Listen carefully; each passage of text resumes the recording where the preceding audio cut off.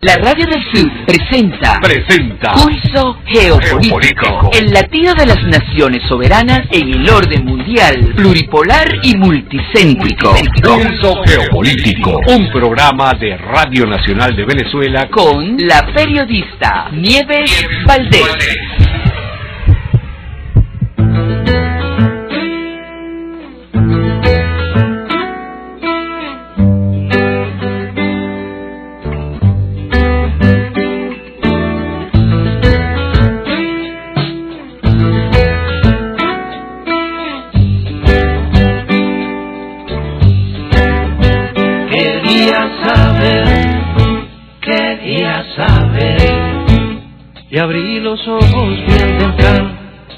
Cuando se tocan con las manos los luceros. Quería saber si iba a llegar a mi destino y no llevé para el camino ni sombrero. Quería saber y le di un beso a mi comarca y me subí una vieja barca de viajero. Quería saber si tras la línea que está lejos donde se despierta el sol sería grumete marinero, timonero, pescador. Quería saber aunque no siempre comprendiera todo lo que yo quería saber. Quería saber, quería saber.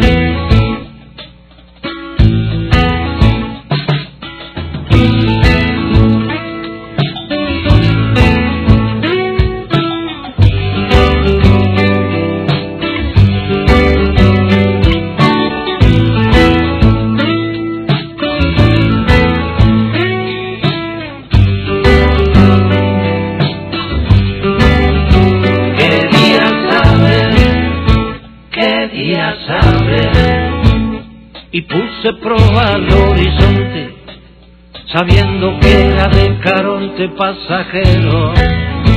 Quería saber cómo se dice el firmamento en el idioma de los vientos y los fuegos.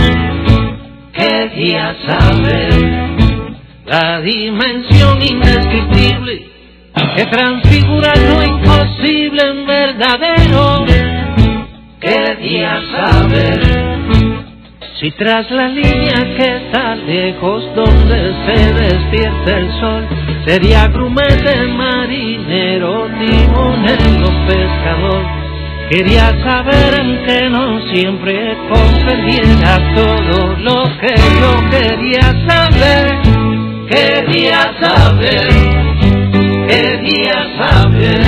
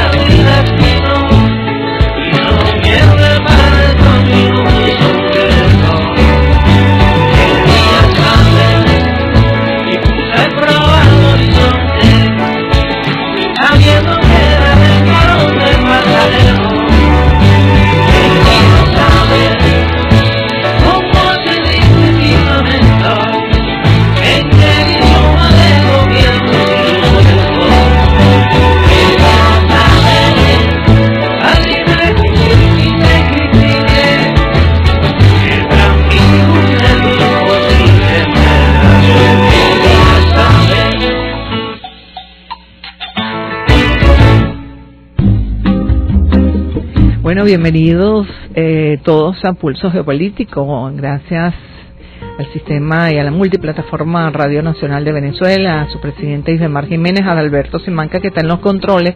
En la Radio del Sur está eh, Joseito Blanco. Gracias por ese ese maravilloso tema de Silvio Rodríguez, que es su nuevo, además su nuevo disco, ¿no? Su nuevo trabajo que ya está en YouTube. Lo pueden buscar eh, por Silvio Rodríguez. Eh, recuerden que él tiene su propia, eh, digamos, eh, quien, quien hace posible eh, la grabación de sus nuevos mm, trabajos discográficos, se llama Ojalá. Entonces lo pueden buscar también por YouTube, eh, una nueva un nuevo trabajo discográfico. Tenía mucho tiempo Silvio, ¿no? Sin, sin hacer, eh, sin grabar y de verdad que es hermosísimo. Ese se llama Quería Saber y así se llama su nuevo disco, ¿no?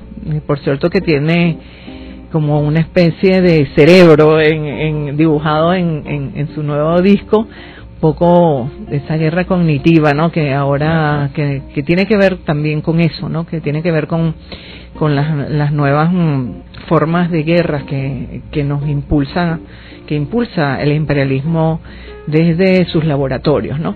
Y bueno, le damos la bienvenida eh, al profesor Vladimir Adrianza, profesor que ya lo habíamos dicho por esta gran live, estamos en vivo por esta gran live de la Radio del Sur.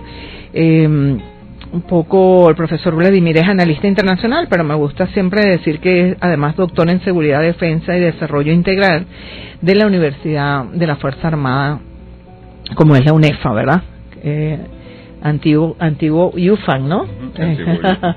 eh, de, y además también es magíster en en seguridad en la nación, en, en el IAESEN, ¿verdad? Este también se graduó en relaciones internacionales, un excelente posgrado que también se da eh, en nuestra alma mater, donde estamos cursando en este momento el doctorado en seguridad de la nación y nos interesa un poco analizar eh, queríamos comenzar a analizar un poco lo que lo que pasó ayer, profesor, ¿no? Un, este puesto que ayer se afinó un poco la maquinaria desde el punto de vista de la estructura popular, ¿verdad? Estuvimos en, en la multiplataforma Radio Nacional de Venezuela y estábamos empalmados también tanto Tiuna FM como Radio Miraflores como la Radio del Sur empalmados con la señal matriz de la Radio Nacional, este analizando un poco este de qué se trataba ayer eh, de este ejercicio que, que ha llamado el presidente de la República, el 1 por 10, ¿verdad?, electoral, pero que además ayer también habló de de siete nuevas de siete nuevos anuncios, ¿no? Entonces es así como el 1 por 10 por 7. Él, él le va sumando sus reflexiones y, y, y sus propias experiencias eh, que salen a la luz del propio ejercicio popular de democracia directa y participativa y protagónica. Queríamos entonces darle la bienvenida al profesor Vladimir, hablar un poco, un poco sobre estos argumentos de por qué nosotros, eh, de cara al 28 de julio, eh, tenemos mm, este, argumentos de sobra para decirles por qué nosotros debemos votar por el presidente Nicolás Maduro, reelegirlo porque está en a nivel de la geopolítica está eh, dos modelos no que se enfrentan allí claramente verdad profesor y que viene arropando buena parte de, de Europa. Europa eh, por allí dicen que es su propio suicidio no que el hecho de, de enfrentarse a, a, a Rusia de, de, de, haber hecho lo que hicieron con con ese gasoducto no uh y bueno, vamos a hablar un poquito entonces de todos esos temas. Este, siempre se nos hace muy corto, pero intentamos siempre ser pedagógicos con el profesor Vladimir Adrián. eh, profesor tiene por allí como 10 argumentos, ¿verdad? 12, argumentos. Hay muchísimos, pero vamos a, vamos a, a, como él lo sistematizó, vamos a leerlo, ¿verdad, profesor? Y, sí. y después entonces en la segunda parte entramos ya con Europa con esa arremetida que tiene la, la derecha eh, en esos en esos gobiernos además parlamentarios él nos va a explicar por qué Macron ayer por ejemplo hizo lo que hizo eh, eh, que es adelantar elecciones y también eh, disolver la Asamblea Nacional Sí, bueno, ¿Cómo está, profesor? Yo estoy muy bien y de paso muy contento con este, de estar contigo porque tú eres orgullosamente para mí nuestra presidenta de la Radio del Sur.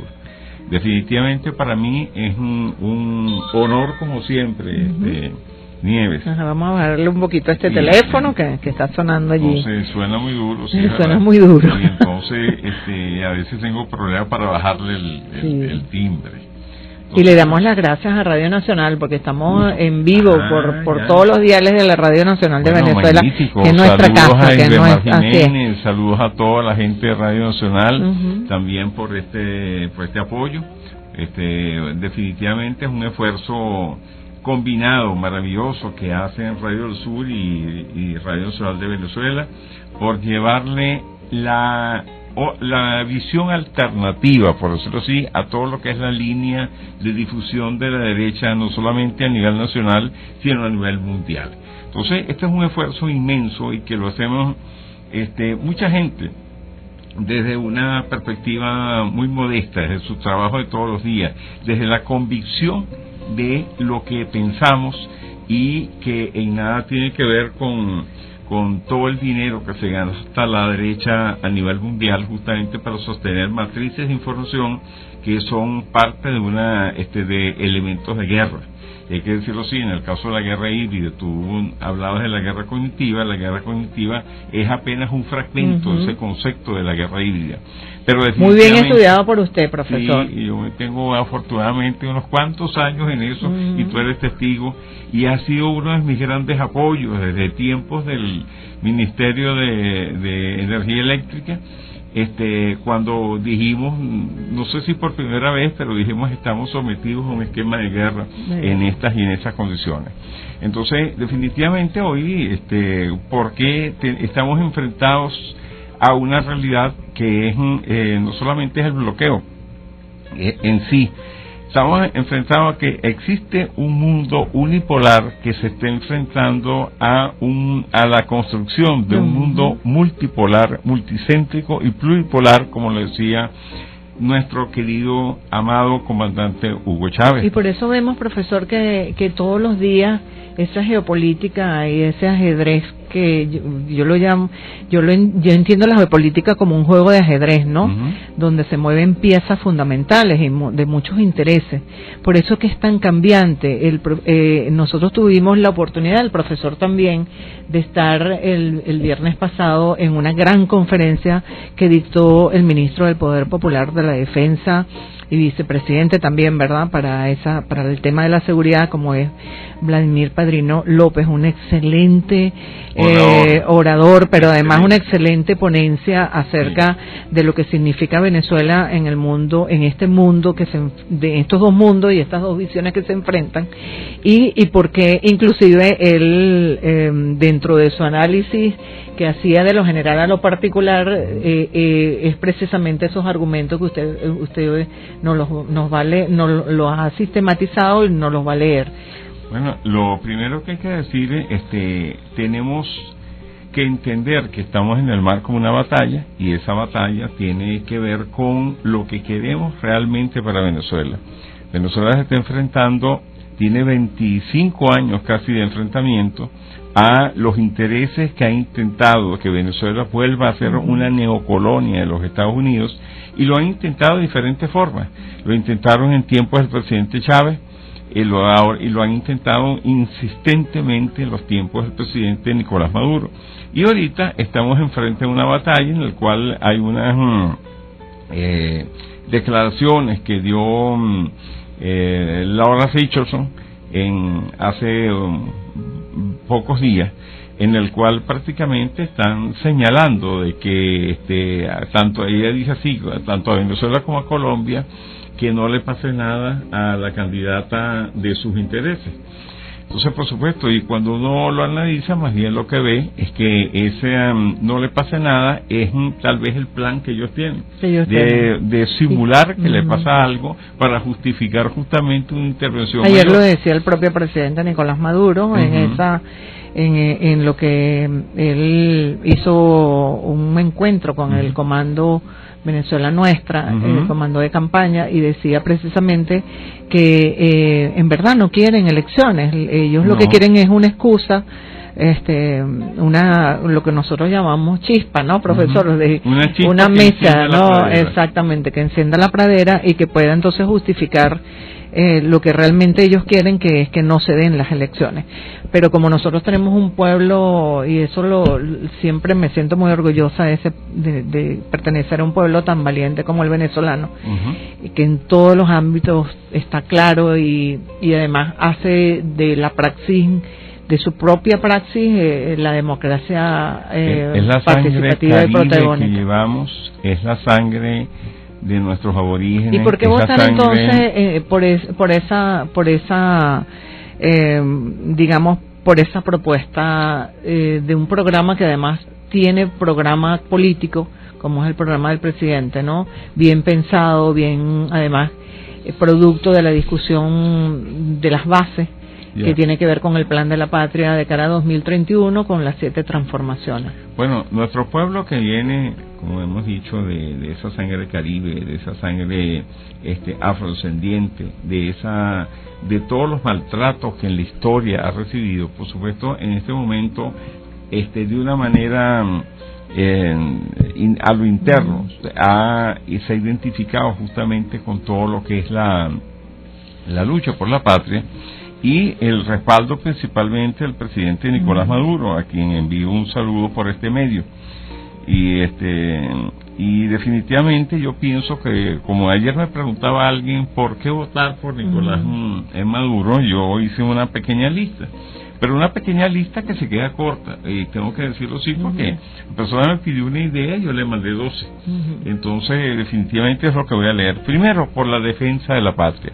Nicolás Maduro ha demostrado que no se ha quebrado ante todos los mm, embates que hemos recibido eh, eh, de todo lo que es el marco imperialista mundial. Cuando estamos hablando de imperialismo, estamos hablando del siglo XX, eh, de todos los actores principales del siglo XX, que en este caso es Estados Unidos y Europa principalmente, y hoy siguen siendo los que defienden el mundo multi- este, unipolar.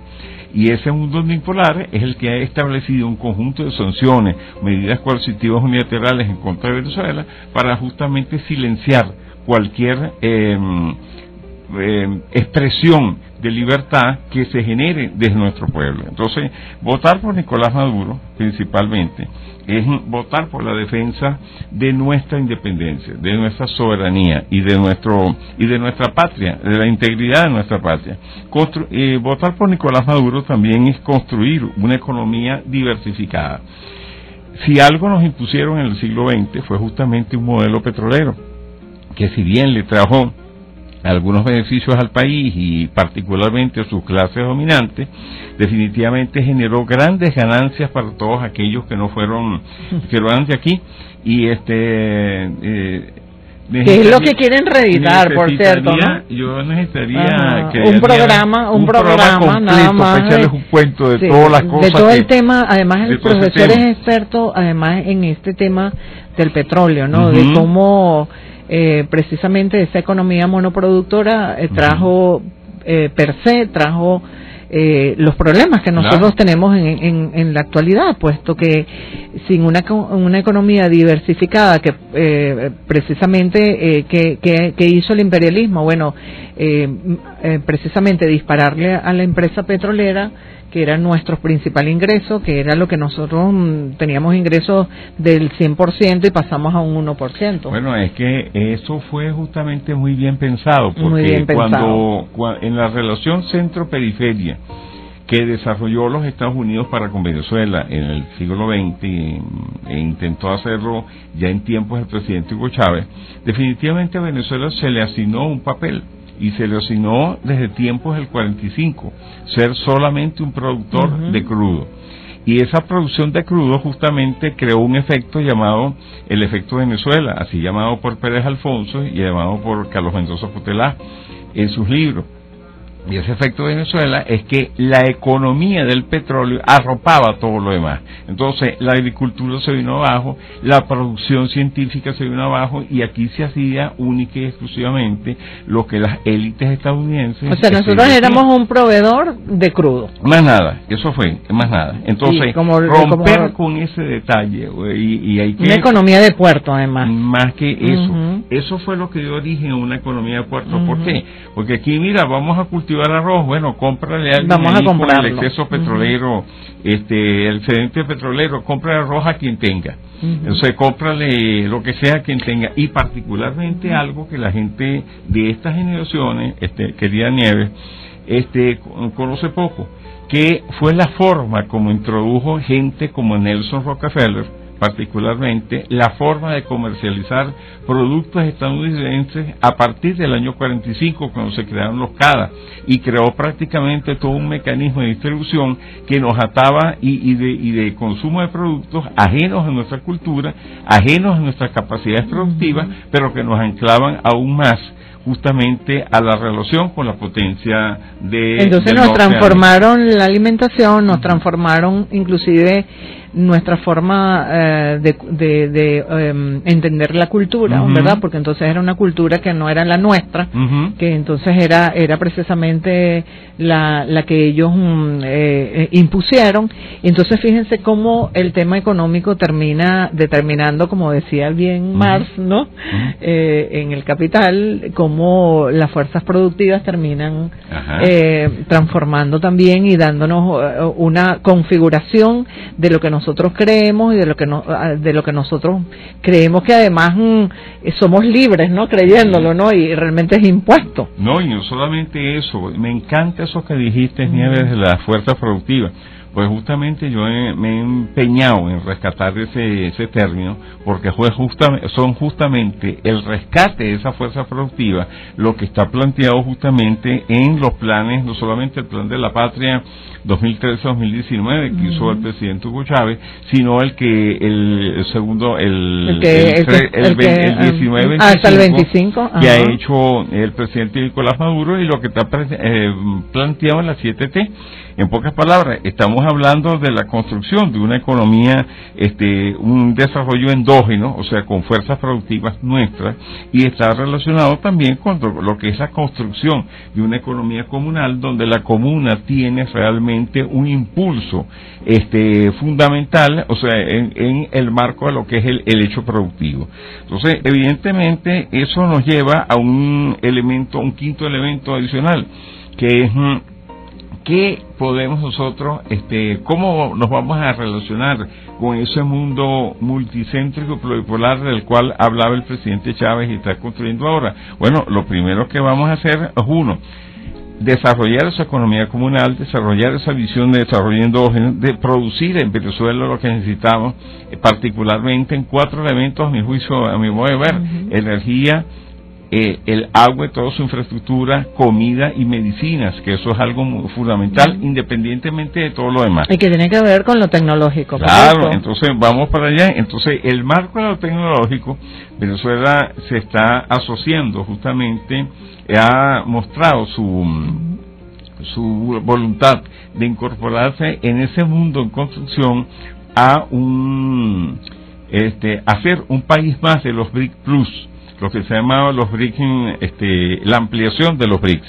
Y es muy probable, este, después de las elecciones, después que ratifiquemos al presidente Nicolás Maduro, que Venezuela se incorpore a los BRICS en un en un, este, en un momento que para Venezuela es sumamente importante justamente para el, el, el, crecimiento de nuestras exportaciones y el desarrollo de nuestras fuerzas productivas. Entonces, el ingreso a los BRICS es fundamental. Por otra parte, Nicolás Maduro hay que reconocerle algo al presidente Nicolás Maduro, uno le dice cariñosamente Nicolás, así, y más lo que porque además el pueblo le ha dicho, no, le ha dicho, le, prácticamente le dice Nico. Le dice Nico, entonces justamente es así, entonces Nicolás es muy cercano al, pueblo, él es pueblo y, él pueblo, llano. Y se ven las presentaciones que ha hecho recientemente como la gente sale a recibirlo, contrario a lo que uno ve que es la, la, la, la, la derecha nacional que es mm, que sabe que son muchas de esas manifestaciones son hechas a realazo y hay que decirlo así. Y este por supuesto todo lo que ha sido la defensa de la paz es otro elemento muy importante de Nicolás Maduro puesto que la el solamente con el hecho de haber llamado constituyente unos años antes cuando aquí realmente se había planteado una guerra civil por parte de la derecha nos da a nosotros la garantía y amén de todo su discurso de que vamos a seguir construyendo un futuro con la inclusión de todos por la senda de la paz, no por la senda de la retaliación. Aquí es evidente, como lo ha pasado este, en Argentina, que es. este, como ha pasado con Milei Que en- por cierto en- necesitamos hacer un programa también de la motosierra, ¿no? y cuando tú Profe, quieras, ah, así, eh, vamos a mm, eh, interrumpir un- brevemente al profesor. Yo sé que es excelente el análisis que está haciendo, pero tenemos que cumplir con con la multiplataforma de Radio Nacional de Venezuela y de la Radio del Sur y entonces vamos a identificar nuestra eh, nuestra radio nacional y ya regresamos para entonces seguir con estos argumentos y cerrar un poco con lo que pasa en Europa, ¿verdad? Que no es todo lo que pasa en el mundo tiene que ver con Venezuela y todo lo que pasa en Venezuela tiene que ver con el mundo porque así es la geopolítica. Ya regresamos con, Pulso Geopolítico. Estamos de vuelta con Pulso Geopolítico.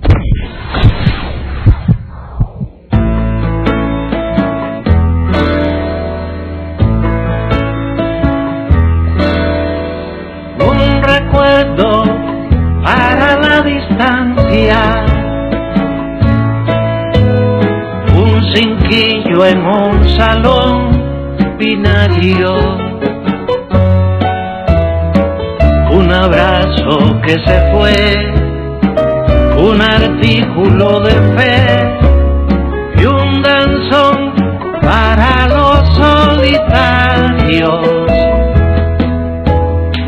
Un amor para decirte espero, una piel donde aprender fragancia,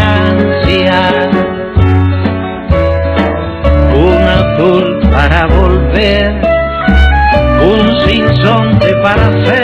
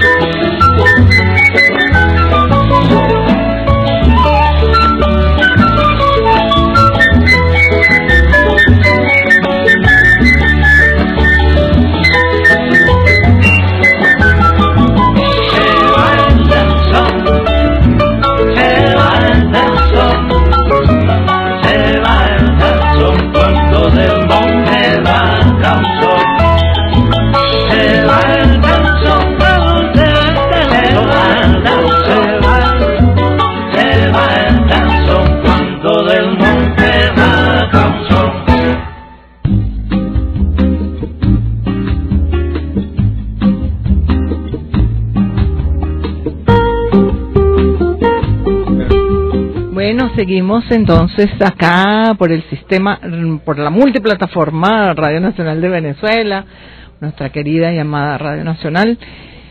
Eh, gracias a Alberto Simanca que está por allá en los controles y Joseito Blanco que está por aquí en la Radio del Sur. Estamos conversando con el profesor Vladimir Adrianza y este bueno, bien lindo ese ese es el nuevo material, ¿no? De Silvio Rodríguez, qué bello ese son eh, no sé si es un danzón o es un son, ¿no? Es un son.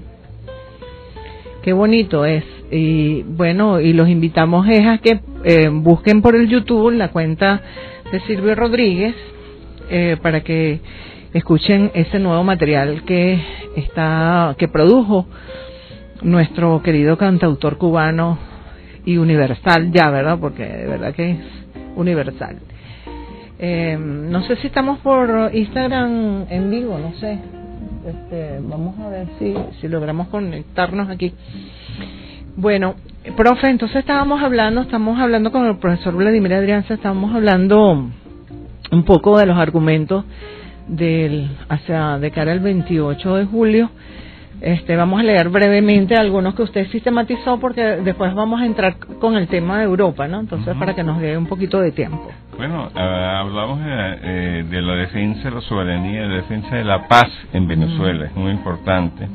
Recuperar nuestra Guayana Esequiba, eso es otra cosa que el presidente Nicolás Maduro, sin cortapisa, ha asumido y más con ese liderazgo que produjo este, el año pasado una votación tan alta del pueblo venezolano porque se recuperara y porque se hiciera todo lo que se tenía que hacer.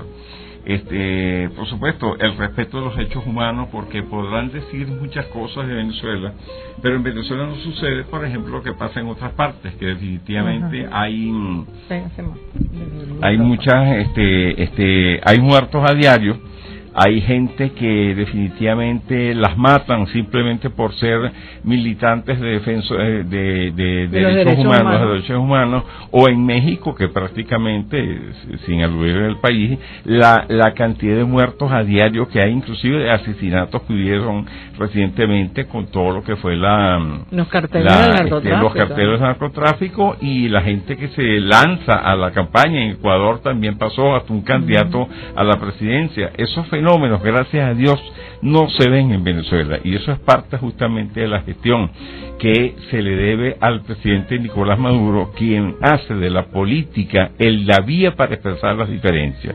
Entonces, ese, ese elemento es fundamental.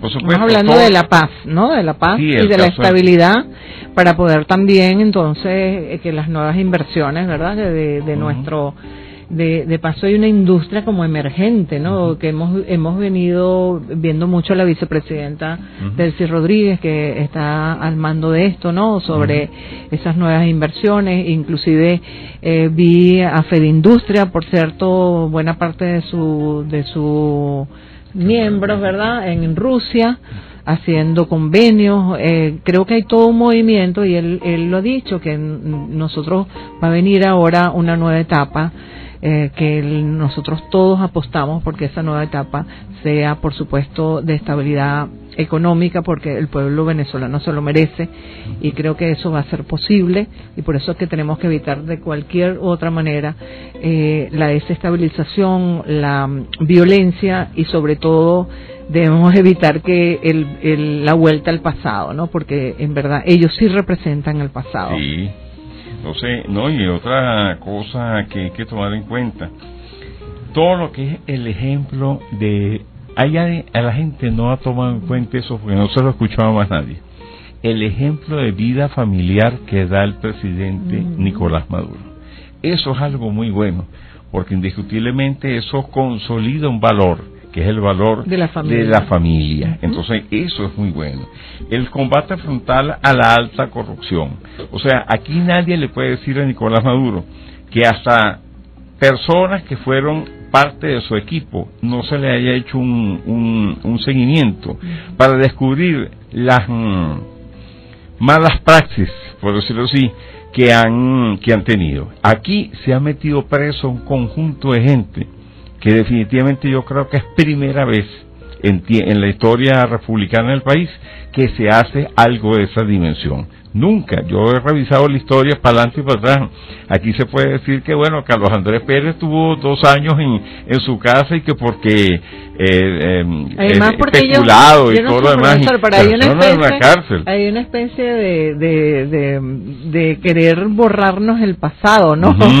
Y resulta que nosotros, bueno, buena parte eh, vivimos ese pasado como jóvenes, ¿no? Y yo recuerdo, por ejemplo, y ayer lo decía con, con bueno, con argumentos en el sentido de que yo lo, lo viví, que nosotros estuvimos a punto de que la Universidad Central de Venezuela, todas las universidades, que eran muy pocas por cierto, porque quien las diversificó fue el comandante Chávez, eh, eh, eh, fueran cerradas, ¿no? Porque iban a privatizar la universidad. Y no nos vayamos tan lejos, vámonos al Cono Sur, vámonos a Argentina, donde eh, no solamente han cerrado medios de comunicación, no, no pudieron ni siquiera celebrar su, su día del periodismo, porque él ha cerrado todos los medios del Estado.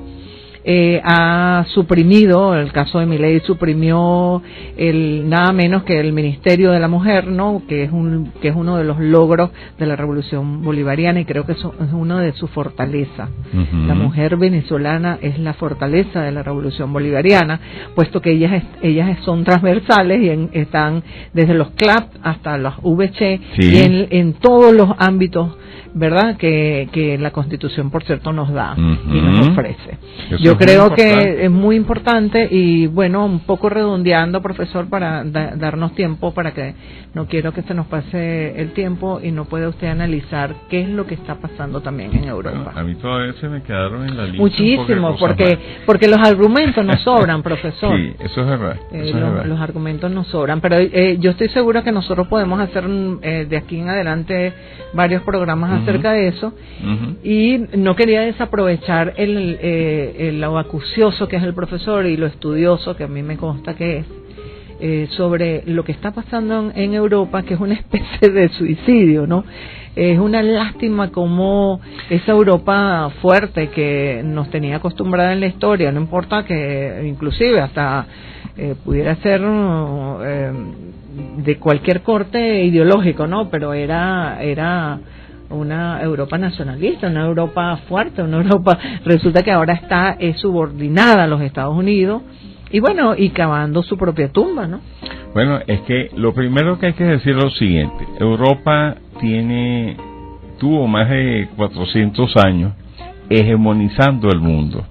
Fueron imperios, fueron reinos europeos que los que realmente crearon colonias en tres continentes del planeta. Eso sucedió durante 400 años. ¿Y qué fue lo que hicieron ellos? Aplicar una, una economía al principio que fue el concepto mercantilista que es eh, que se basa simplemente en que según el mercantilismo todos los países tienen Son proveedores. todas las no todas las riquezas del mundo Y, y las expolio, ¿no? O sea, y entonces este quien logre trasladarlos de uno a otro es el que sale beneficiado es. en pocas palabras entonces ese esquema económico nos aplicaron a nosotros durante 300 años que fueron los 300 años de coloniaje Ujú. Encima de eso, por supuesto, vino todo lo que fue el marco de la revolución industrial, este, en, Inglaterra, este, y luego en Alemania. Este, y esa revolución industrial europea se basó en muchas cosas que se trajeron de la de verdadera revolución industrial que hubo a lo largo de la historia de la humanidad, que fue en China. China es la, es la autora del Apolo, del papel y etcétera, de la imprenta y para todo de contar. Pero ellos aplicaron justamente el concepto de industrialización desde la perspectiva de lo que fue mm, petróleo y carbón en un principio, petróleo, acero, este, perdón, acero y carbón desde un principio y luego fue petróleo, acero y carbón a partir de los Estados Unidos. Entonces eso llevó al, al punto de la, del cambio en la forma como ellos mm, ejercían el marco imperial, el marco imperialista, y a la exportación de capitales para poder obtener materias primas que eran procesadas en Europa y no de ahora ni hace siglo pasado, desde hace 400 o 500 años ese fue más o menos el mismo esquema. Y luego se la, eh, volvían, eh, luego ya en el siglo XX volvían a los países mm, colonizados garantizando un monopolio prácticamente de sus mercaderías en el territorio controlado. Entonces que eso fue poco más o menos lo que yo, lo que habló este Lenin y lo que Samir Amin también describió como que era una práctica europea desde el siglo XV para acá. Entonces, eh, ellos ahorita se están enfrentando a una situación sumamente dura. ¿Por qué? Porque Europa es un, un, área que carece, eh, que ha ca- acabado prácticamente con sus materias primas, a excepción del carbón y algunos elementos que todavía quedan por allí. Este es un es un continente que ha, ha sido altísimamente dependiente, importa 14 millones de barriles diarios de petróleo por solamente citar el petróleo. En el caso Eh, del gas, profesor. No, en el caso del gas depende prácticamente de toda la importación que antes venía de la Unión Soviética, después por supuesto de la Federación Rusa y ahora después que y hay que decirlo así, los Estados Unidos es el principal torpedeador de la economía europea. ¿Por qué? Porque ellos saben que si la loco- locomotora alemana dependía del el gas ruso para poder abaratar la producción de energía y por ende abaratar su producción y tener una participación en el mercado mundial, ¿quién es el país, quién ha sido el país más mm, golpeado justamente con el, el sabotaje del Nord Stream 1 y 2? Ha sido Alemania. Alemania. Y entonces, este, y, y uno ve contradicciones inmensas.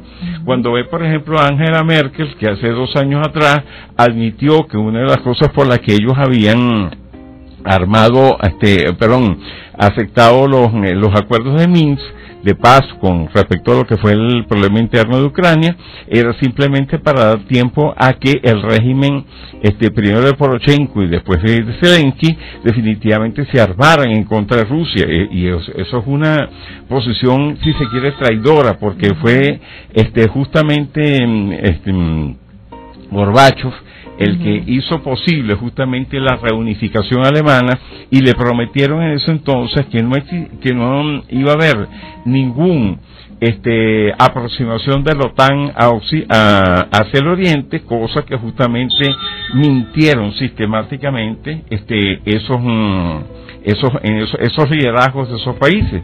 Ahora, ¿cuál es el problema?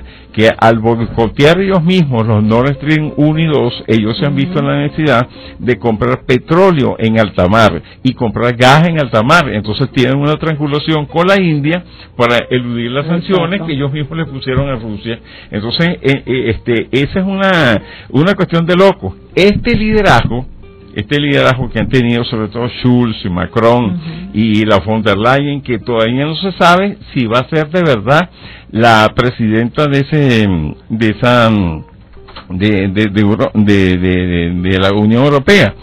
Entonces, este, no se sabe por qué, porque ella necesita 300 y pico de, de 65 votos y todavía no los alcanza. Entonces, la situación que, que, que ellos tienen es una situación este muy eh, muy delicada. ¿por qué? porque justamente ha sido la política europea la política que este grupo de gente ha impulsado sobre Europa la que ha declinado dos elementos. Primero ha hecho que baje el PIB de Europa. Número uno. Dos, han parado la locomotora que supuestamente este, impulsaba Europa. Y número tres, definitivamente por la vía que van, inclusive se habla de que si en los próximos cinco años todavía Europa no va a lograr salir de este liderazgo, pero por, entonces uno se pregunta, bueno, ¿por qué, por qué esta gente votó por la derecha o por la ultraderecha? Bueno, simplemente porque ya no hay más alternativa. Entonces, ¿qué es lo, cuál es la, qué es lo que hay que entender? Y esto lo conversaba yo con Juan Carlos Monedero, una oportunidad que yo me lo conseguí aquí cerca del liceo, caminando por la calle, cerca del liceo. ¿Ahora cuando Andrés vino, profesor? No, no, hace Ah, tiempo. hace tiempo. Hace tiempo, este, caminando por la calle. Y entonces le decía, bueno, pero ¿cómo es posible que la izquierda, le preguntaba yo, ¿cómo es posible que la izquierda europea este, no figure? Eso fue lo que yo le dije. Entonces, él me decía que no era tan fácil. ¿Por qué? Porque en Europa prácticamente todo lo que era la derecha tenía tomado todos los medios del Estado. Y encima de eso, este, toda la burguesía tenía controlaba todos los medios eh, privados de información. Indiscutiblemente, con una situación como esa, no había como mucha forma de expresarse en los diarios europeos y realmente la, lo que se emitía, lo que, la, la información que salía, era información pro- propiamente de derecha. Amén de que indiscutiblemente ellos le, han también tienen sus medios. El hecho de, por ejemplo, de, de bloquear a, a RT o a las cadenas rusas justamente para que no les llegue esa información que ellos, que ese pueblo requiere para que de alguna manera se vea en la verdadera situación que tienen en este momento. Por otra parte, la historia de Europa hay que volverla a escribir, hay que contarla de nuevo. Estamos hablando de una Europa, como lo decía este Moragón, un analista europeo, que hasta hace este 100 años realmente tuvo un control del mundo. ¿Por qué? Porque realmente cuando lo analizamos en, en profundidad, lo que estamos analizando en esa profundidad es que ellos dominaron, o sea, ejercían su hegemonía como imperio. En América, este, los autores no se han puesto de acuerdo, pero dicen que aquí se exterminaron entre 80 y 150 millones de habitantes del continente americano y de, y de, mm, y del África con el con la trata negrera o el, con el, comercio triangular como ellos han tratado de, este, de difuminar, caracterizar esta, todo lo que fue la extracción de seres humanos del África realmente entre 50 y 100 millones de personas causando un estrago social inmenso. Todo eso es culpa justamente de, lo que fueron este, los reinos europeos y lo que fue el imperialismo europeo en todos los aspectos. Y en eso tiene razón Samir mí cuando dice que eso no es un proyecto de tiempos recientes, es un proyecto que viene, que nació con Europa en el siglo XIV. Y si a eso nosotros le sumamos justamente que esa nostalgia de hacer eso les da haber cometido, este, no las pone a entender que cometieron el error de hacerse la guerra entre ellos mismos, es la Alemania contra la Inglaterra, la Alemania contra Francia, la, este, y luego de eso contra la Unión Soviética que la Unión Soviética justamente era el, objetivo a vencer, ¿por qué? Porque para Hitler en el en el este Main Cap que él escribió, justamente definía que la Unión Soviética era un pueblo ignaro, esa es la palabra que utilizó, ignaro y que debía estar mejor bajo el Tercer Reich alemán y por eso la guerra de exterminio que ellos desarrollaron con 26,6 millones de personas, que es la cifra que más o menos se consolida hoy en día. Sin embargo, este, las Fuerzas Armadas de Rusia hablan de 42 millones de personas.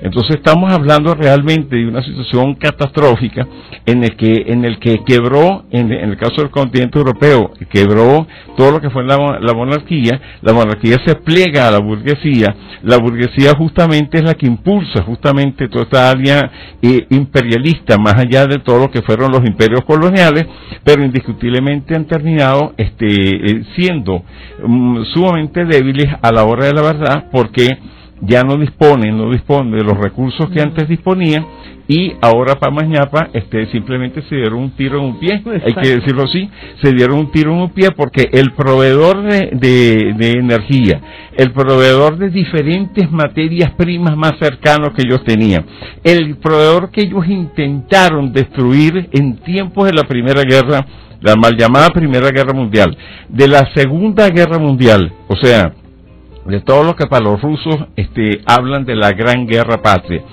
Luego durante la Guerra Fría y ahora justamente después de toda la ofensiva que han hecho con respecto al problema de Ucrania, a la situación de Ucrania, ese eh, enemigo que ellos han, este, intentaron crear ese enemigo que ellos siempre visualizaron, que las oligarquías europeas siempre visualizaron, los está derrotando ahorita en el terreno, en el marco de la operación militar especial que está en Ucrania. Y no solamente lo está derrotando, sino que además los va a derrotar en la construcción de un nuevo orden mundial que va a ser la consecuencia inmediata de, de, de, esta, de esta operación que, que se, se, se puede ver aislada, pero que tiene mucho que ver con, con el ordenamiento eh, mundial. no, no solamente eso, fíjate que hablábamos este, fuera de micrófono de la conferencia que se está realizando. Que se está haciendo en este momento en los BRICS. Entonces, esa conferencia es la que hubo en San Petersburgo y ahora justamente la conformación de los BRICS